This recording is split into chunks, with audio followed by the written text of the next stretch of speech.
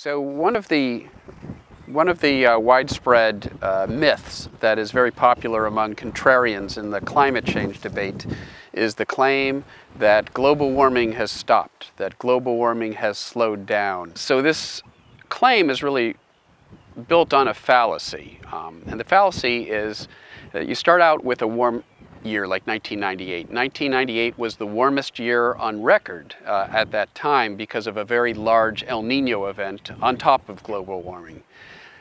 Well, because 1998 was boosted by that big El Nino event, as that El Nino subsided, subsequent years were not as warm.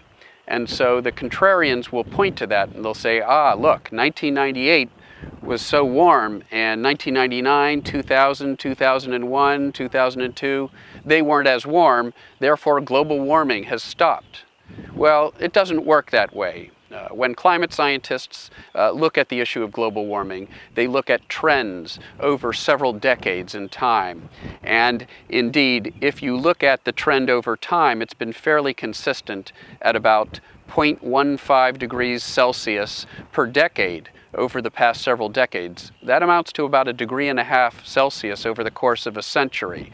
Uh, 1998 was a very warm year, but the warmest year on record was 2014 until 2015 happened. Then 2015 was the warmest year on record. And now here in 2016, 2016 is shaping up to be even warmer. That's three consecutive record-breaking global temperatures. Um, so global warming, in fact, continues unabated as we continue to burn fossil fuels and elevate the concentration of greenhouse gases in the atmosphere.